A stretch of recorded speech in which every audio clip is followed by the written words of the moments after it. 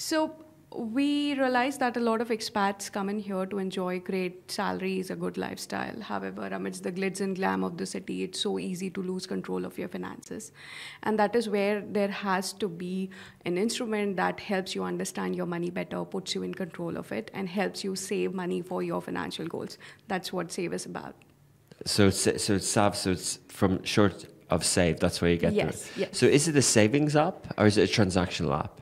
This is a savings app, and our focus is uh, how do you connect your multiple bank accounts and see insights about your spending habits, and also find opportunities where you can save and invest better. So it starts with learning about yourself and your behavior. And then the next step is understanding and realizing what your financial goals are. And then we simplify the process for our users.